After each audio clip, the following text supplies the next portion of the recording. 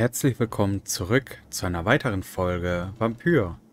In der letzten Folge haben wir Dr. Swansea hier zurückgelassen zum Sterben. Hier sitzt er. Der arme Herr. Er wurde entführt und wir verraten ihn. Mit ihm reden können wir nicht. Ich glaube, er ist auch hinüber, oder? Nee. Aber wir lassen ihn einfach da zurück. Schade. Um ihn. Aber ich wollte ihn nicht zum Vampir machen. Nicht äh, nach dem, was er an Experimente gemacht hat. Man muss ja auch Grenzen setzen, ne? Ich möchte niemanden zum Vampir machen. Wenn, möchte ich es halt selber entscheiden und nicht das Spiel. Naja. Wo können wir doch mal raus, was da passiert ist.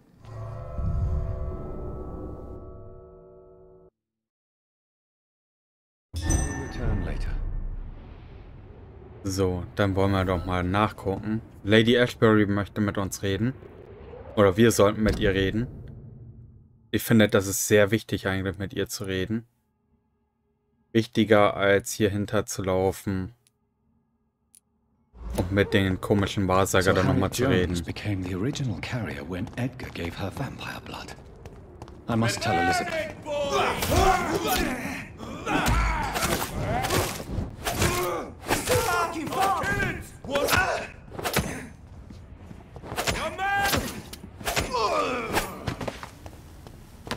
Die Wache vom Privian, das ist die Gefahr, nicht die Vampire.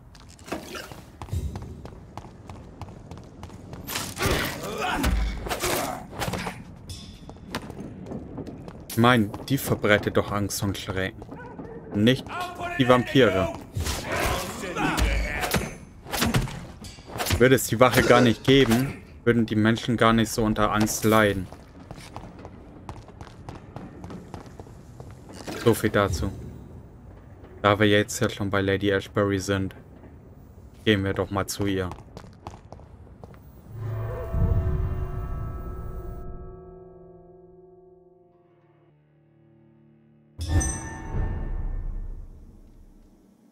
Wie ich es ja gesagt habe, ich habe jetzt schon Angst davor, was gleich Lady Ashbury zu uns sagt.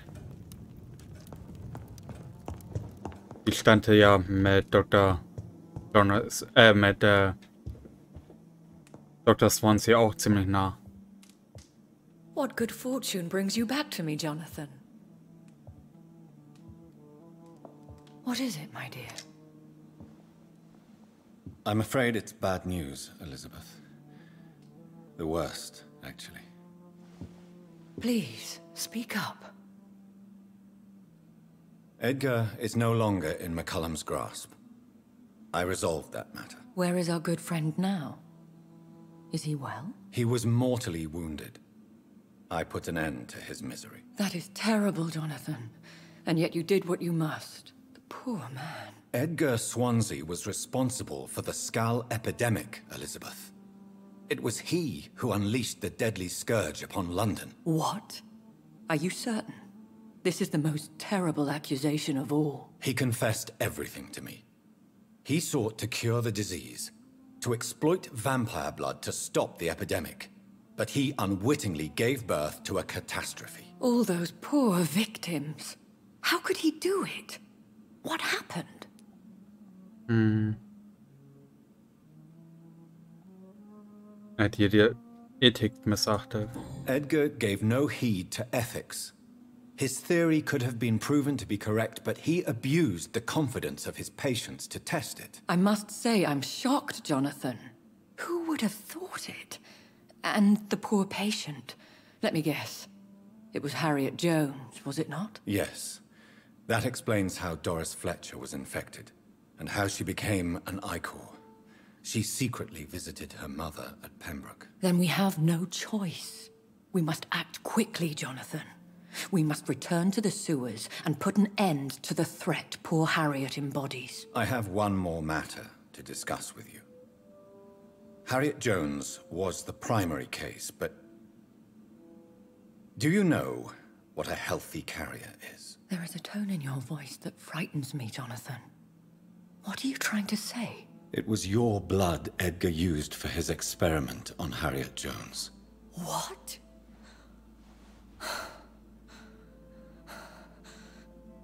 No. No.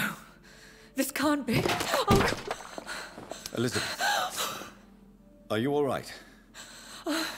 no, I have to go. What do you mean? Leave me alone. Save the city, Jonathan. Save what can be saved. Elizabeth, I need answers. Why did your blood Stay cause away this? from me. Please. I swear I never was your Wait! enemy. No! Elizabeth! Och nö.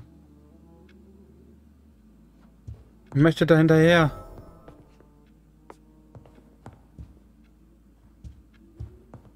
Oh Mist.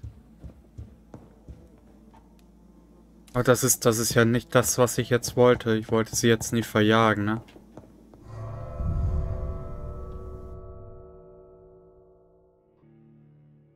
Genau das wollte ich eigentlich verhindern. Now would be a good time to blend the recipe Marshall used when he fought the disaster. I think I know where to find what I need. Jetzt, wir haben gerade Edgar dafür, äh, wir haben gerade gegen Edgar gehetzt, weil er gegen die Ethik verschwor, äh, beziehungsweise gegen die Ethik gegangen ist und wir wollen das jetzt auch? Whose blood could be purer than that of William Marshall? Lord Redgrave will have to spare me a drop. Redgrave wird uns sowas von töten. Wissen wir doch. Wir sollen Redgrave finden. Ähm.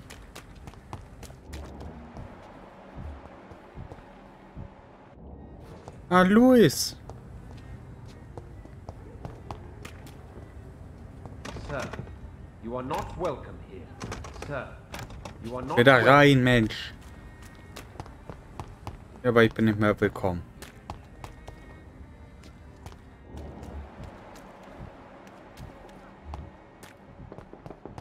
Wie komme ich da jetzt hin? Bin ja nicht mehr erwünscht da drin, ne? Also habe ich ja auch keinen Zugang mehr da rein. Wie finde ich jetzt den Redgrave?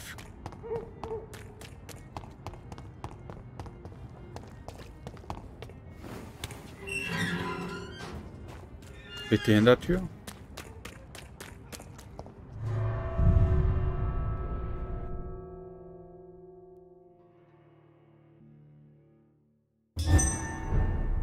Wir sind ja gar nicht so dumm. Wir wissen ja, wie wir hier I'm still persona non grata in the Ascalon Club. If I want to speak with Lord Redgrave, You London Aber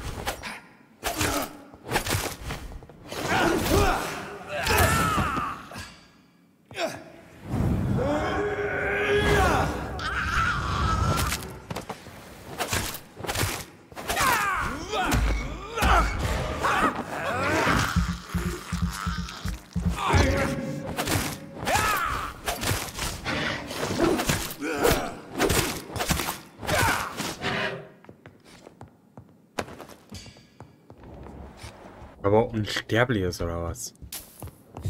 Machen halt Klonen. Also halten Klonen einiges aus, ne? Also nebenbei. Wir sollten noch mal gucken, ob wir vielleicht noch ein bisschen was an der Waffe ändern können. Ach, Lord Redgrave ist da. Wir kommen gleich. Ich wollte noch mal eben nach oben gehen. Oben ist bestimmt auch noch ein Besucher.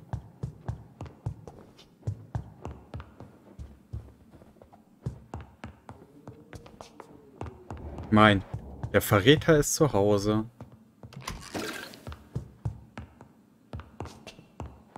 Natürlich. Einmal alles durchsuchen, ne? Das, was ich zuvor nicht mitgenommen habe, jetzt mitnehmen. Oh, keiner von Escalon Club da. Oh, das ist ärgerlich. Das heißt, wir sind gleich alleine. Oder besser gesagt, wir sind alleine. Ein Freund, ne? Können wir uns ja mal ganz entspannt unterhalten hier.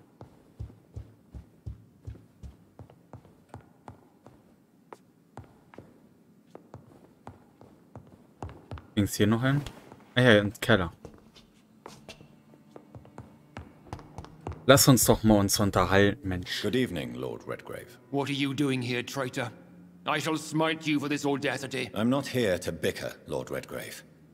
I can put an end to this epidemic, but I need your assistance to do so. Good. We've held out thus far, but the time has come to put an end to this crisis. Tell me, what do you need? The blood of William Marshall. The blood of William Marshall? Of my maker? Are you mad? This blood is the purest of all. My maker proffered it to me on the battlefield. I cannot hand it to you. Hmm.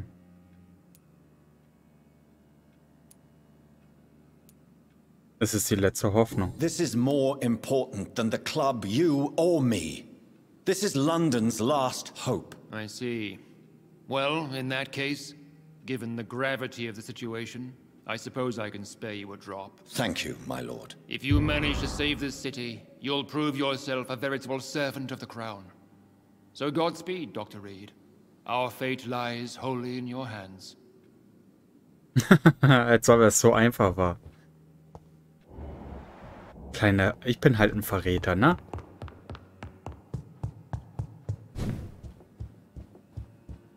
So, ich frage mich halt, wer hat gesagt, dass ich hier nicht rein darf?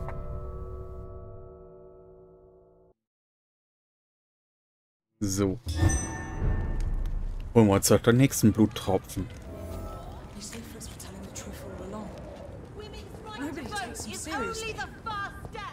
Ist gut bei Ihnen? Good evening, Miss Teasdale. How have you been since you returned home? Dr. Reed. Oh, thank God you returned safely from these awful streets. I was so worried about my father that I left without thanking you properly. Please don't mention it, miss. Good. I found him, you know. My dad. Or what was left of him. I think my abductor intended to do the same thing to me. Wir leben in London. What do you do for a living, Miss Teasdale? Before my kidnapping, I was a waitress in a pub. Now I'm unemployed. Were you fired? No. It's just that after my recent experience, I don't feel like I can go back to my normal life. I need to do something useful. Seien Sie sehr vorsichtig. Be very careful, Miss Teasdale. You were lucky to escape death once, but vampires lurk everywhere. You killed my kidnapper by yourself, didn't you? No offense, Doctor, but you're just a doctor. I don't see why I couldn't do the same. Was ist hier What do you geplant? intend to do? Dad always told me, Louise, if you want something, don't stop until you have it. I did my research and I found it. Ichabod Frogmorton, professional vampire hunter. I'll be his apprentice. Oh, sie wird jetzt eine Vampirjägerin. Oh oh, die wird uns sowas von jagen irgendwann. What can you tell me about this area? I've never really liked this part of town. It was where my father wanted to live. I won't remain here much longer. What exactly don't you like about it? People here are contemptuous and elitist. My dad always said, Louise, always treat people like you want them to treat you. Kennen Sie What can you tell me about Aloysius Dawson? Never heard of him. Really? He's very well known in London, throughout the country even. Are he a big shot or something? Never interested in politics myself. All words and no action. Persönliche Fragen mal. Was haben wir denn? Oh. Äh, ziemlich viele Hinweise auf jeden Fall gehabt. Louise, tell me what you really think about your father's sacrifice to save you. I'm proud he went after me. I forgive him all his harsh words, all his bloody attitudes. I only wish I could tell him how much I loved him. Yes. It can be traumatic not having the chance to say goodbye to those we love. Yes, Doctor. And there's no treatment for that type of pain, isn't that right? Nein, That may be the last thing my father taught me. gegen den gibt's natürlich kein High Metal. Louise, what can you tell me about the vampire who captured you? The little fucker claimed he'd fallen in love with me. That he wanted to spend eternity with me. Not a bad idea. At least that's the way it seemed at first. Really? Did you consider accepting his proposal? Well, immortality. Not a common wedding gift, is it? I think he just wanted to have his way with me. Can vampires even fuck, Doctor? What? um, well, I, I, I, I really can't answer that. I, well, since they are creatures of blood, um, physically speaking, I suppose an erection is possible, but I... Don't be embarrassed, Dr. Reed. I was just asking. Aber eine direkte Frage. Können Vampire fegen? Also, gefällt mir die Dame. You seem to cherish your father a great deal. Dad was the best. He kept an eye on me, but let me make my own mistakes. Louise used to say, mistakes are the best teacher. You would have liked him. I'm sorry you didn't have the opportunity to say goodbye. That's all right. He's buried in consecrated ground now. Nothing bad can happen to him. Goodbye, Miss Also sie Teasdale. ist schon eine nette. And be careful. Until we meet again. It's always been your house, Dad. Not mine. Remember, don't let any strangers come into your house. Women of Hey, Good evening, Miss Ashbury. hab da was And good evening to you, Dr. Reed. What is your opinion of Aloysius Dawson? It seems the old sod gave all his fortune to the poor and to charities at the last minute. I wonder what part you played in that turnaround. Na sicher. Ähm, Why do you still hope to become a vampire in spite of your mother's refusal? It's the immortal aspect of vampires that interests me. The world won't improve unless women take charge. I'm convinced of that. You're obviously a clever woman with a good education and a brilliant future. But have you thought about the price you'd have to pay? The loneliness, the necessary masquerade. Is it not true of every high position? To change this world and make it a better place, one needs time on one's side. Your mother has refused to turn you into a vampire. Tell me more about it. Each time we argue, Mother expresses the same fear. She wants me to remain alive and full of joy, rather than become melancholy and immortal. She claims you can't have one without the other. It's pure selfishness. es ist ihre Entscheidung. It's your mother's choice. As daughters and sons, we have to accept the decisions our parents make for us despite our own wishes. I love my mother, and have accepted everything from her. Even that she named me Charlotte, when it was not my original name. Does it bother you? No. Whoever I was when I was born, I am now Charlotte Ashbury. It hurts as much as it makes me proud to know that's the name my mother will read on my tombstone. Hmm. Your mother has walked this earth for much longer than you or I. She is wise, and we should not ignore her advice when we disagree with it. But why shouldn't I be allowed to forge my own experience? There can't be only one righteous way to deal with eternity. Es ist ein Fluch.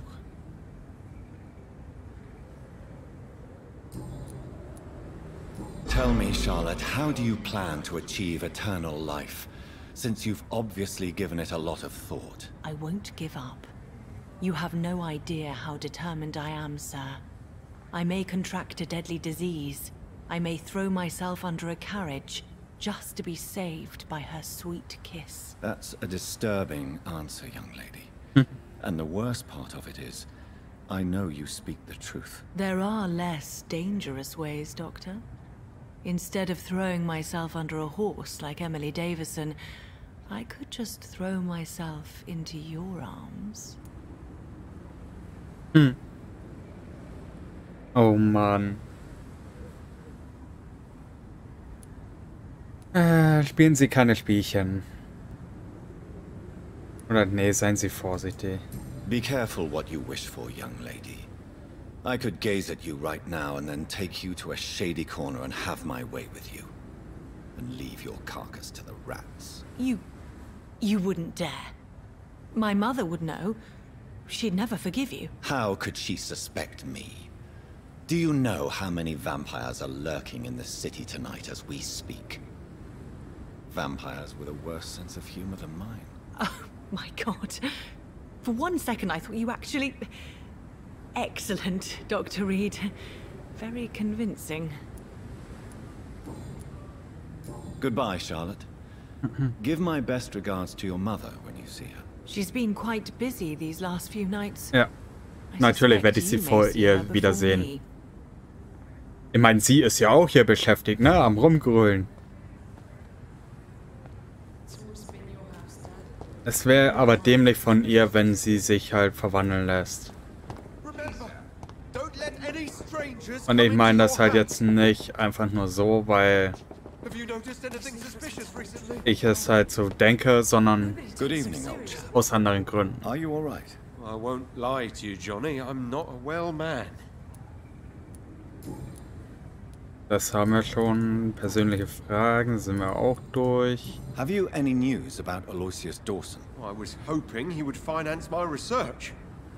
But I heard he's given all his money to the sick and poor. Ja, ist ja auch richtig You so, ne? rest.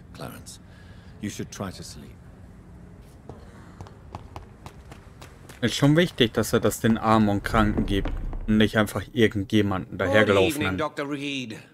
A great night, what? Das sehe ich genauso. Have you any news on Aloysius Dawson? I heard he died and gave all his money to the poor. Now that's a good man. An example for us all to follow. Ja, einige sind neidisch darauf, dass er halt das den Armen gegeben hat. have a look at your goods, Mr. Russell. Bleiplatten gibt es hier. Nicht das, was ich benötige. Oder nicht, ich was ich holen möchte. Ähm, so. Wir machen uns auf Richtung nächsten Leuten, wo wir das Blut abzapfen können.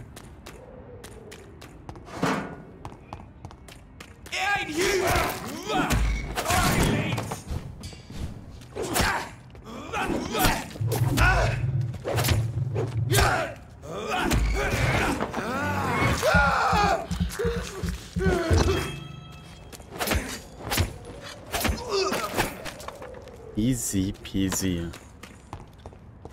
So einfach killt man einfach mal Vampirjäger.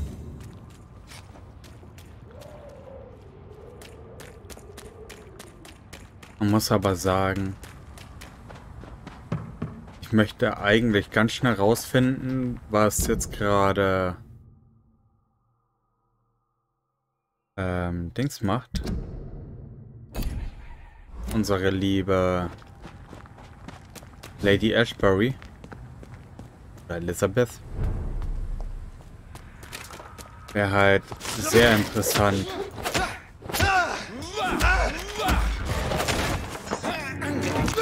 Ein bisschen Blut abzapfen. Und nieder mit ihnen. Würde mich halt schon ein bisschen interessieren.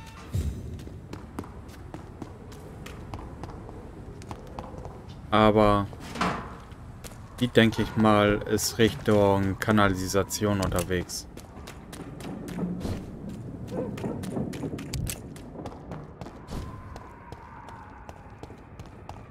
Aber definitiv werde ich auch nicht ihre Tochter einfach so verwandeln. Nicht ohne der Zustimmung ihrer Mutter.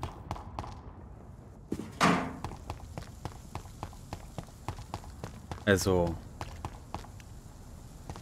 Ich bin da halt äh, strikt ein Gegner des Verwandelns. Es soll schon gut überlegt sein, den man überhaupt dann verwandelt.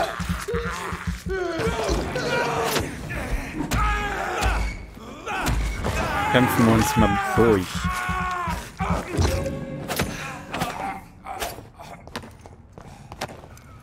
Aber ich glaube, ihr könnt mich verstehen, warum ich halt so drüber nachdenke, drüber denke, dass ich nicht jeden einfach so verwandle.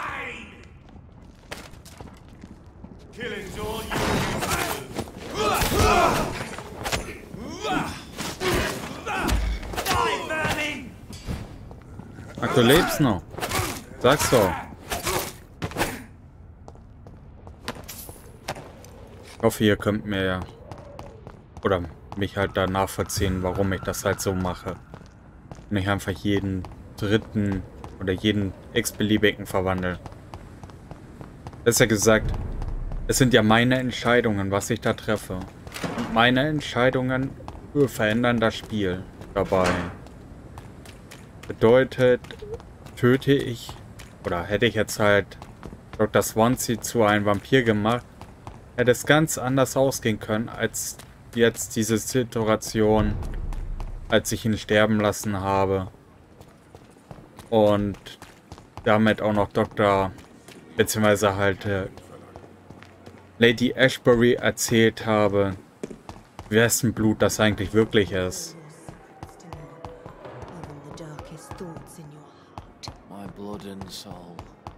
Ist halt schon, ja, schon eine Nummer halt, ne?